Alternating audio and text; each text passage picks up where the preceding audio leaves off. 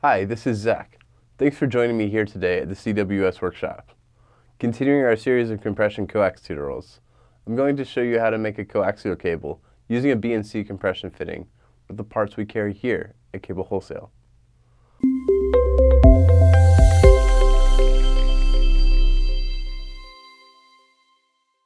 Today we're going to have a DIY video looking at BNC compression connections.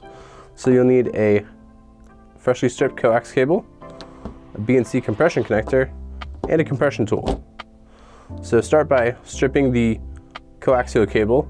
If you not sure how to do that, I haven't done it before, we do have a link right here in the top corner. And we'll get this tool set up. So our last video, which you can see right here, we were doing an F-pin coaxial compression. So we're gonna take the F-pin die out just like that and put on the BNC die. So you'll need to have the correct die for the application to work.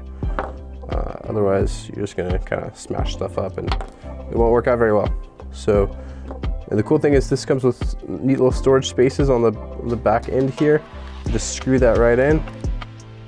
Boom, that's out of your way put the correct die in place.